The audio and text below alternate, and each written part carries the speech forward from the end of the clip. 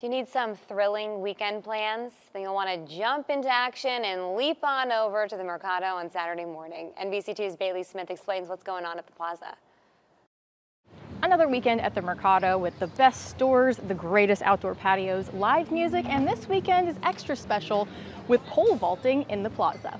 It's the closest you can get to flying. Watch out for flying athletes on Saturday. Over 60 people will be flinging themselves through the air for the second annual meet. Last year I came in first annual and loved it, so I wanted to come back and enjoy the second one. It's obviously not your traditional track and field meet, being smack dab in the middle of a street and all. Spectatorship is usually a lot more awesome at these kind of events because, you know, it's just got general people from outside of the track and field stadium that normally wouldn't be there. They're learning about the sport and getting to cheer you on. And even the fellow jumpers are cheering each other on. You're competing against nothing but yourself. That bar gets knocked down, it's because of nothing but you.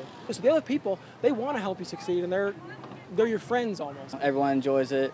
There's no one really trying to push you down. They always want to keep you up. They're always happy. They always cheer after every clearance. It's just all a family sport kind of thing. Tonight, it's all about getting those jitters out of the way and staying in the right mindset.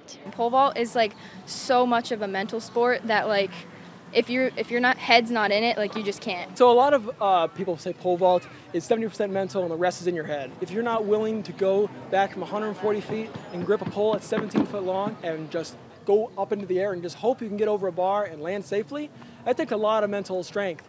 And it's something that pole vaulters are really known for. You can catch those high flying daredevils starting Saturday morning at the Mercado. In Naples, Bailey Smith, NBC2.